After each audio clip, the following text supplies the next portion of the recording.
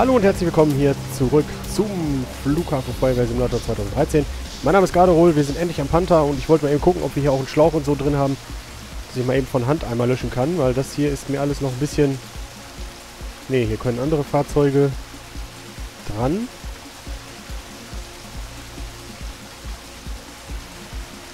Bei einmal wissen, was wir noch machen können, alles. Also nicht so viel. Das ist im Wesentlichen dann offenbar wirklich dann das Fahrzeug. Und ich kann hier, kann ich hier hochklettern? Wenn er aktiv ist. Das wäre natürlich praktisch. Weil... Ah, die Kollegen helfen ja auch mal ein bisschen mit. War auch nicht so richtig. Diese ganzen scheiß kleinen Trümmer hier. Das ist natürlich jetzt nicht so schön, ne? Ich müsste eigentlich... Eigentlich so ähm, rundum dahin kommen können. Und hier ist gleich eine ganze Maschine abgestürzt. Leute, Leute, Leute. So, was wollte ich noch testen? Also diese...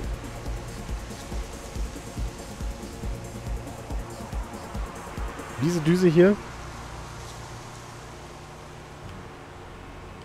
Vorne dran. Da können wir auch wahrscheinlich dann den Löschschaumfilm mit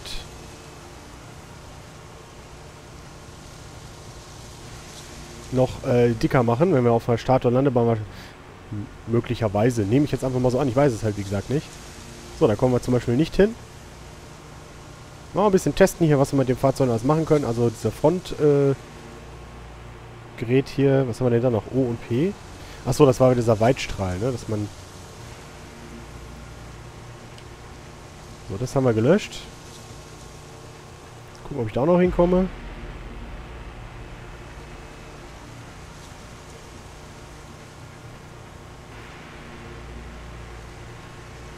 Oh, hier großflächig. Aber so klappt das halt nicht.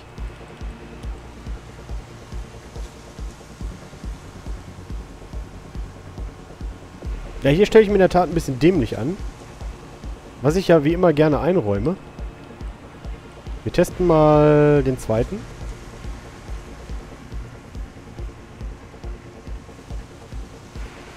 So, der ist äh, vorne mit an dem Arm dran.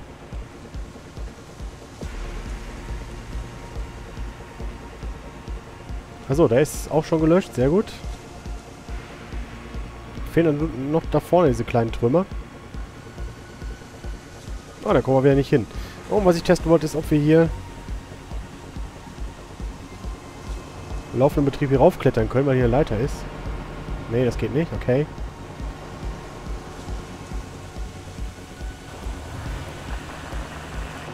So, das heißt, also wenn wir da nicht drankommen, dann müssen wir wohl oder übel nochmal umparken. Es sei denn, der Kollege da vorne kriegt das jetzt hin. Also ich, ich komme, wie gesagt, nicht dran. Da müssen wir nochmal umparken. Nützt ja nichts. Das geht Gott sei Dank relativ schnell. Also, wenn auch das Abladen, äh, das Aufladen hier ähm, etwas länger dauert, bis der einmal in Position ist, aber der Rest geht recht flück wieder rein in der Saft.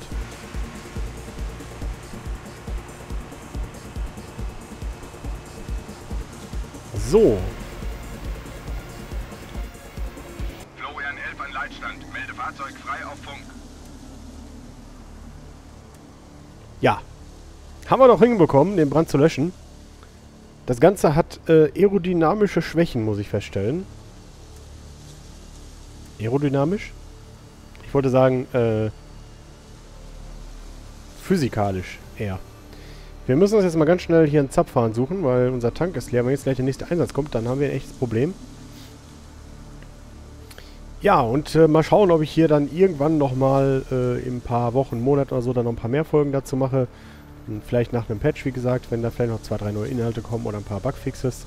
Aber ich denke mal, jetzt dieses und vielleicht noch ein, zwei Videos mal gucken, wie ich Zeit und Lust habe. Äh, davon dann haben wir auch äh, sehr viel gesehen und den Rest müsst ihr dann auch selber probieren. Ne? So, ist denn der Dehydrant hier? Nein! Vor allem eben mit dem schweren Unfall, ne? Das, das, äh, das äh, nagt immer noch an mir. Das fand ich eine dermaßen Frechheit. So, dabei wollte ich euch nur in Ruhe eigentlich hier, erinnert euch nicht noch, wie es angefangen ist, ich wollte euch nur in Ruhe mal noch den zweiten Teil des Terminals zeigen, weil in einem der vorhergehenden Videos hatten wir ja gesehen, dass da so viele kleine lustige Anspielungen, Gimmicks und Verspieltheiten noch zu finden waren, die wir überhaupt noch nicht bemerkt haben, die aber auch in dem Spiel drinstecken irgendwie noch. Äh, ja, fantastisch. Und das wollte ich euch jetzt nicht vorenthalten, deswegen fahren wir direkt mal weiter hier. Na komm. Hopp. Gucken, ob wir hier die, die Tür wiederfinden. Ich bin Feuerwehr, ich darf das. So, hier. Ups. So, und dann gucken wir mal, was heute die Pizza des Tages ist. Na, wir müssten dann jetzt mal auf der anderen Seite vom Flughafen, weil nicht nur die Fahrzeuge, denn das Spiel macht ja auch aus, dass es hier so einen riesen Flughafen gibt mit so vielen Sachen. Ich hätte mich, ich hätte mir gewünscht, dass vielleicht noch ein oder zwei Türen mehr hier gewesen wären. Ist teilweise ziemlich schwierig hier reinzukommen. So, wir haben letztes Mal die rechte Wand entlang äh, erkundet. Jetzt machen wir einfach mal links rum. Hier haben wir einen kleinen Wartebereich. Da kommt.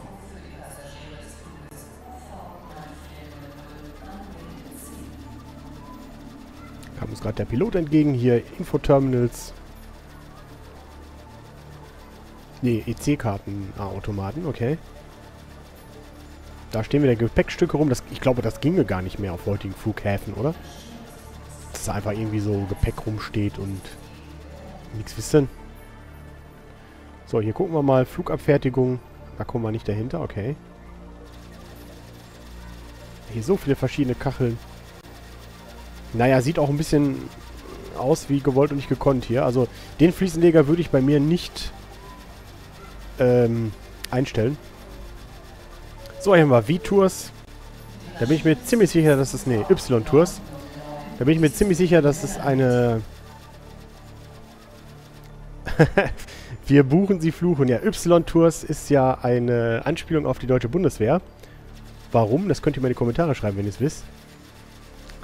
All Y-Tour flights today are NIST. Please go home. Letzter Aufruf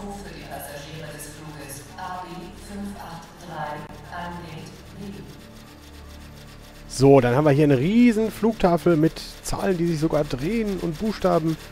Gucken wir mal, wo die hingehen. Nach Split, Moskau, Stuttgart, Lissabon, New York, Moskau, Lissabon, Zagreb, Moskau, Düsseldorf.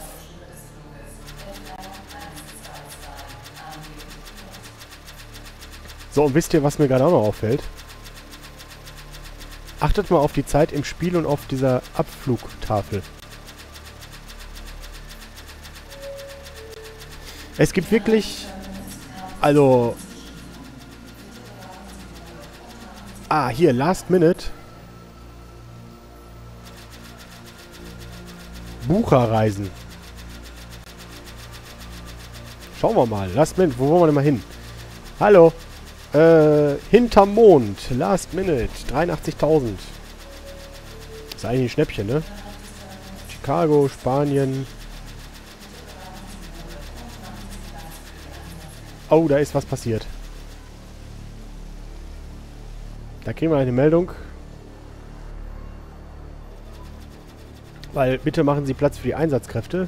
Hier sogar mit behinderten äh, Stellplätzen, Gerät. Ich wollte gerade sagen Aufzug, aber ist ja keiner. Hier haben wir eine Cocktailbar. Curacao oder so. Keine Ahnung, ich trinke ja keinen Alkohol, bin ja nicht bescheuert. Oh, da ist wieder was abgestürzt. Hört das im Hintergrund? Da werden wir gleich wieder rausrücken müssen. Einsatzbefehl für Florian 11. Im Außenbereich des Helikopterflugplatzes wurde ein Alarm gemeldet. ja, aber ihr seht auf jeden Fall, hier gibt es jede Menge. Jetzt haben wir auch hier unten das alles gesehen. Dann geht es hinten noch weiter zu den... Dann geht es hinter noch weiter zu den ganzen Terminals. Also jede Menge, die man hier entdecken kann. Finde ich wirklich, wirklich wenn man sich mal so die ganzen Simulatoren anguckt, da braucht sie dieses Produkt jedenfalls nicht zu verstecken. Jetzt habe ich es aber oft genug gesagt. Und, ähm, oh, der hat es aber auch nicht drum. Da guckt man auch mal gerne so ein bisschen drüber weg, dass hier die Leute rumlaufen wie Zombies. Darauf kommt es ja letztendlich auch nicht an. Oder dass Fahrzeuge durch Wände fahren. Na, das ist schon nicht so toll. Ja, ich würde sagen, wir machen jetzt diesen Einsatz noch und dann gucken wir mal, was uns der morgige Tag bringt. Das heißt, diese und noch eine Folge und dann würde ich sagen, reicht es auch erstmal von diesem Spiel. Aber ich bin sicher, dass ich nochmal drauf zurückkommen werde. Wie gesagt, mit einem Patch und Co. werde ich mir das nicht nehmen lassen, da nochmal reinzuschauen. Und werde es auch so noch ein bisschen weiterspielen. Und wenn mir ein paar Sachen auffallen, werde ich euch selbstverständlich davon berichten. Und neue Spiele auf den Markt kommen, wisst ihr, neue Simulatoren etc. findet ihr natürlich bei uns, bei uns im Kanal, immer zum Release, pünktlich zum Release. Vielleicht möglicherweise sogar vorher. Immer mal reinschauen, das lohnt sich. Alle Infos dazu in unserem... Das gibt's ja nicht. Alle Infos dazu in unserem Sendeplan auf unter events.moinfos.de. Und nochmal den Hinweis, ich lese alle eure Kommentare. Und immer wenn ich Zeit habe, antworte ich auch drauf. Also, es lohnt sich immer mehr zu schreiben, da freue ich mich drüber. Wenn ihr das macht, wäre fein. Coole Sache ist das. So, also, wir nehmen uns den Brandherd. Da müssen wir dann einmal wieder schauen, wie die Trümmer verteilt sind und wie ich dann am besten mein Rohr ausfahre. Zwinker, zwinker.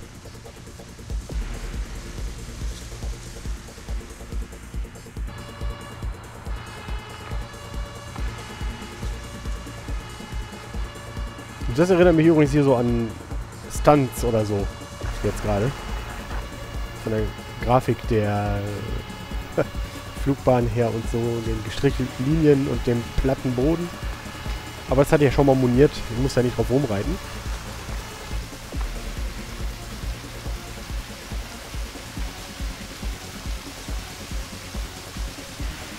So, wir sind am Einsatzort gleich eingetroffen. Das war aber ganz schön knapp. Das kommt davon, wenn man meint, man müsste den Flughafen rumlaufen äh, und äh, Burger fressen. Eieiei, das wird auch noch knapp. 8, 7, 6. Nein. Nein. Nein. Nein. Nein.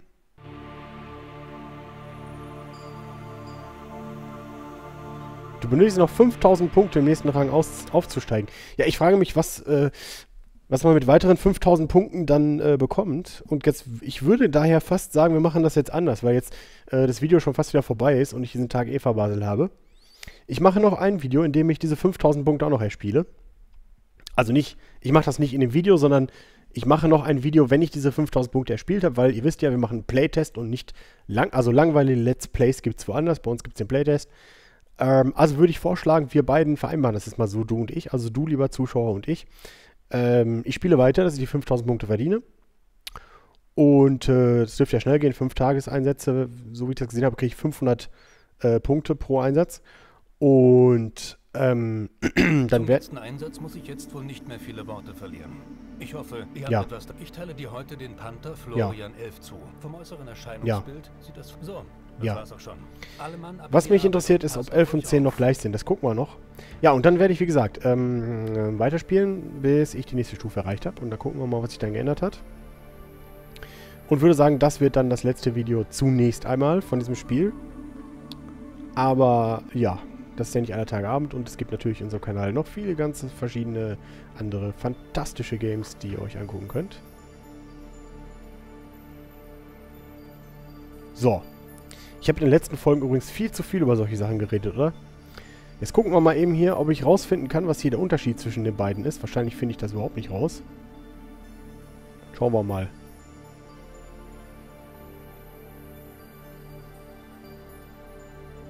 Sprühdingen. Sprühdingen. Sprühding am Dach. Kein Sprühding am Dach. Achso, das ist so ein Ding mit so einem Kanonending drauf. Und das hier ist so ein Ding mit so einem beweglichen Arm, der in eine Richtung geht drauf. Okay. Ja, das heißt also, wir müssten das Fahrzeug 10 auch noch irgendwann mal bekommen und testen. Also gibt es doch noch was zu sehen in einem weiteren Video, denke ich mal. Ähm, hoffe, ihr schaut da wieder rein. Und äh, danke euch fürs Zuschauen. Ich freue mich auf eure Kommentare. Macht's gut. Tschüss und bis dann.